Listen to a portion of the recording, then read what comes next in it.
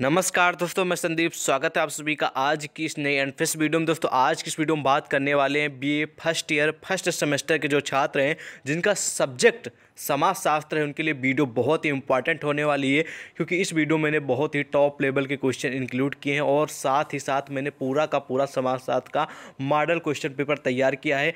जैसा कि जै, जैसा तैसा आपके एग्ज़ाम में पूछा जाएगा यानी आने वाले एग्ज़ाम में 2022 में जैसे आपका एग्ज़ाम यानी कि जो भी क्वेश्चन पेपर जो आएगा, तैसा का यानी कि जैसा भी एग्ज़ाम पेपर होएगा, वैसे ही मैंने एक मॉडल क्वेश्चन पेपर तैयार किया है, जो कि आपके लिए काफ़ी हेल्पफुल होगा। क्योंकि इस वीडियो में मैंने वस्तुनिष्ठ प्रश्न यानी कि बहुविकल्पीय प्रश्न और साथ साथ में अति लघुत्तरीय प्रश्न और लघुत्तरीय प्रश्न, ठीक है, लघुत्तरीय प्रश्न दीर्घ होती है यानी कि विस्तृत उत्तरीय क्वेश्चन इंक्लूड किए हैं। ये सारे क्वेश्चन का जो पैटर्न है, ये आने वाले एग्ज़ाम के लिए, आपके लिए काफ़ी हेल्पफुल है।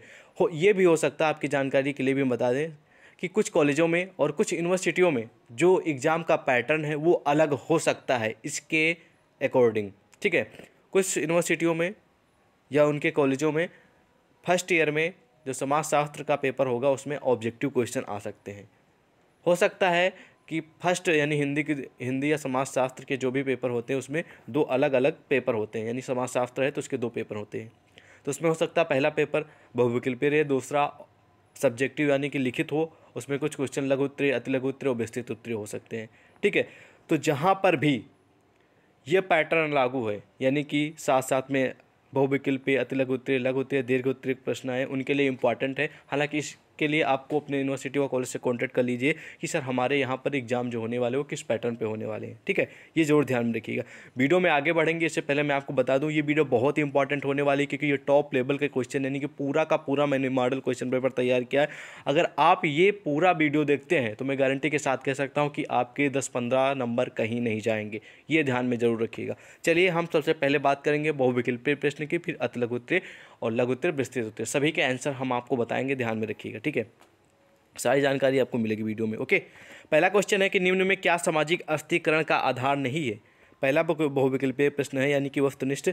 तो इसमें आप ऑप्शन आपको मिल जा रहे हैं, प्राजात, व्यवसाय, जाति, भाषा तो निम्नलिखित में से, या फिर निम्न में से जो सामाजिक अस्थि ठीक है अस्त्रीकरण का आधार नहीं है, वो है भाषा। इसलिए क्वेश्चन का राइट आंसर हो जाएगा डी नंबर ध्यान रखिएगा भाषा। अगला क्वेश्चन है कि भारतीय समाज में ठीक है सामाजिक अस्थिकरण का प्रमुख आधार है जाति, प्रजाति, वर्ग, इनमें से सभी। तो भारतीय समाज में सामाजिक अस्थिकरण का जो प्रमुख आधार है, ठीक है, जो प्रमुख आधार माना गया, यानी दो नंबर क्वेश्चन का राइट आंसर हो जाएगा जाति। याद रखिएगा ए नंबर राइट आंसर होगा, ठीक है? नेक्स्ट क्वेश्चन यानी तीन नंबर, लिखा है कि निम्नलिखित में से अस्थिकरण का आधार है असमानता, समानता, ऊंचाई में अंतर, शरीर, अंग। तो ये ऑप्शनों में से जो राइट आंसर हो जाएगा, निम्नलिखित में से जो अस्थिकरण का आधार है, वो असमानता, इसलिए राइट आंसर हम सेलेक्ट करेंगे ए ध्यान में रखिएगा। अगला क्वेश्चन है कि इनमें से बंद अस्थिकरण का उदाहरण है, वर्ग, सत्ता, जात, इनमें से सभी। तो इनमें से जो बंद अस्थिकरण का जो उदाहरण है, यानी कि चार नंबर क्वेश्चन का राइट आंसर जो हो जाएगा हो जाएगा इनमें से सभी, यानी कि डी नंबर ठीक है? बंद अस्थिकरण का उदाहरण, ये सर्व है, वर्ग, सत्ता और जात, इसलिए राइट आंसर डी होगा। नेक्स्ट क्वेश्चन है कि अस्थिकरण का सामाजिक, सांस्कृतिक आधार है, लिंग भेद, प्रजाति और जन्म, धर्म। इस क्वेश्चन का जो राइट आंसर हो जाएगा दोस्तों, वो हो जाएगा धर्म। अस्थिकरण का सामाजिक सांस्कृतिक आधार है धर्म। याद रखिएगा डी नंबर अब हम बढ़ेंगे अति लघुत्तरीय प्रश्न की ओर। जो अति लघुत्तरीय प्रश्न है, ये बहुत इंपॉर्टेंट ध्यान में रखिएगा। पूरा का पूरा मैंने मॉडल क्वेश्चन पेपर तैयार किया। आपका, आपके एग्ज़ाम में हो सकता है यही पैटर्न आए, ठीक है? तो ध्यान से समझिएगा कि क्वेश्चन तो पहला क्वेश्चन है कि सामाजिक गतिशीलता के प्रभावों का वर्णन कीजिए। तो जो सामाजिक गतिशीलता के प्रभाव का वर्णन करना यानी कि जो सामाजिक गतिशील है, ठीक है? इसमें आप लोग क्या क्या प्रभाव पड़े उसके बारे में आप लोगों को डिटेल में लिखना है। तो फ़िलहाल मैं इसका आंसर आप लोगों को बताऊँगा। ध्यान से समझिएगा। सामाजिक गतिशीलता के प्रभाव का वर्णन कीजिए। इसका मतलब ये आप लोगों को डिटेल में लिखना इसमें आप लोगों को लिख देना कि सामाजिक गतिशीलता का प्रभाव सामाजिक संगठनों पर भी पड़ता है। यानी कि जो सामाजिक गतिशीलता है, इसका प्रभाव वो सामाजिक जो संगठन है, उन पर भी पड़ता है। गतिशीलता, वैयक्तिक, ठीक है, वैयक्तिक एवं प्रतियोगिता की भावना को विकसित करती है। सामाजिक गतिशीलता प्राथमिक समूहों की रचना को विघटित करती है, जबकि द्वितीयक समूह पर इनका प्रभाव कम पड़ता है। सामाजिक गतिशीलता व्यक्ति को उच्च परिस्थिति प्राप्त करने एवं, ठीक है प्रतिस्पर्धा के लिए प्रेरित करती है। सीमांत मानव एवं संदर्भ समूह की धारणाएँ परस्पर संबंधित हैं और आधुनिक प्रौद्योगिकी, ठीक है, संख्याओं में या फिर आप कह सकते हैं प्रौद्योगिक समाजों में सामाजिक गतिशीलता का परिणाम है, ठीक है। तो ये वर्णन का मतलब ये हो गया, सामाजिक गतिशीलता के प्रभावों का वर्णन कीजिए, उनके जो प्रभाव हैं, उसके बारे में आप लोगों को थोड़ा डिटेल में लिख देना है, बस, ज़्यादा नहीं, क्योंकि अति लघुत्तरीय ही प्रश्न है ये। अगला क्वेश्चन है कि सामाजिक गतिशीलता के कारण बताइए। तो सामाजिक गतिशीलता के कारण क्या क्या हो सकते हैं, ये आप लोगों को बताना है, जिन छात्रों को मालूम है कमेंट सेक्शन में बताएँगे। ओके तो हम आप लोगों को बता देते हैं कि सामाजिक गतिशीलता के कारण कौन कौन से हैं। ठीक है, पहला कारण ये हो सकता है, आप लोग ध्यान से समझिएगा, प्रौद्योगिकी आविष्कारों की बहुलता, ये भी कारण हो सकता है। ठीक है, निष्ठ, यानी कि कारण हो सकता है, शिक्षा में प्रसार हो सकता है, सामाजिक गतिशीलता के कारण, जो गति में शीलता यानी कि गति में बढ़ोतरी हुई है, उसमें शिक्षा में प्रसार भी हो सकता है, ओके? और ये भी हो सकता है यानी कि नंबर तीन आप कह सकते हैं कि ज्ञान तथा कुशलता में वृद्धि हुई है, यानी कि जैसे जैसे समाज में गतिशीलता यानी कि समाज में बढ़ोतरी हुई, जैसे समाज में पहले क्या था, अब क्या होने लगा, यानी सिस्टम पूरा चेंज होने लगा है तो उसके कारण ये भी हो सकते हैं कि उच्च पद पाने की इच्छा, उच्च पद दिलाने की प्रेरणा, अर्जित गुणों में वृद्धि ओके? अगला कारण ये भी हो सकता है कि कृषि कार्यों में जनसे जनसंख्या का अधिक के, ये भी कारण हो सकता है। अगला कारण ये भी हो सकता है कि पड़गति ठीक है?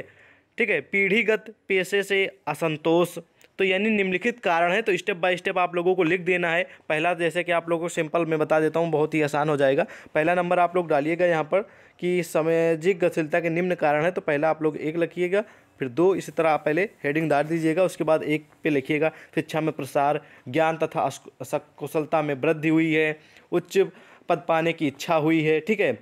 और इसमें आप लोग लिख सकते हैं कि प्रौद्योगिकी आविष्कारों में बहुलता हुई यानी कि जो भी ए, आप लोग कह सकते हैं कि समाज में जैसे कि बहुत सारे प्रौद्योगिक संस्थान बने हैं या फिर प्रौद्योगिकियों में उन्नति हुई है, ठीक है, वृद्धि हुई है, बहुलता आई है, ये सब निम्नलिखित कारण है, ठीक है, सामाजिक गतिशीलता के कारण है।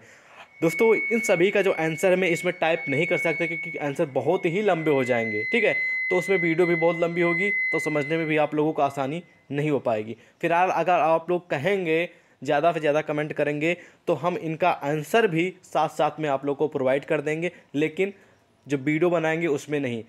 एक स्पेशल जो भी क्वेश्चन होंगे, उनका क्वेश्चन का आंसर ठीक है, लिख के जो भी हम क्वेश्चन सीरीज़ बताएँगे, जो भी क्लास स्टार्ट करेंगे, जैसे कि ये सारे क्वेश्चन हैं। इन सभी का क्वेश्चन का और क्वेश्चन के नीचे आंसर उसका लिख के हम आपके टेलीग्राम चैनल यानी कि टेलीग्राम चैनल पर डाल देंगे, जो कि टेलीग्राम चैनल का लिंक वीडियो के डिस्क्रिप्शन में मिल जाएगा, वहीं पर डाल दिया करेंगे। तो आप लोग आंसर आराम से डिटेल में पढ़ लीजिए करिए, ठीक है?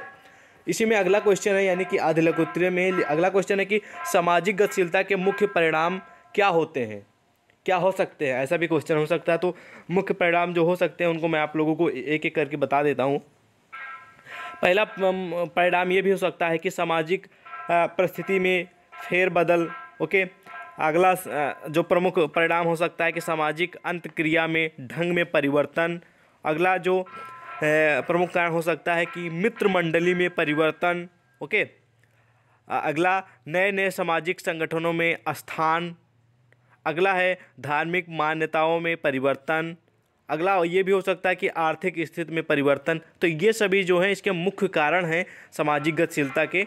तो आप लोगों को समझ में आ गया होगा, ये तीन, चार, पाँच आप लोगों को जो भी याद हो, आपको जो भी समझ में आए, पाँच से छः या फिर छः से सात, जो भी मुख्य परिणाम लगे, वो आप लोग एक एक पॉइंट करके लिख दीजिएगा, ठीक है? तो आई होप आप लोगों को समझ में आ गया होगा, ये मुख्य कारण, ठीक है?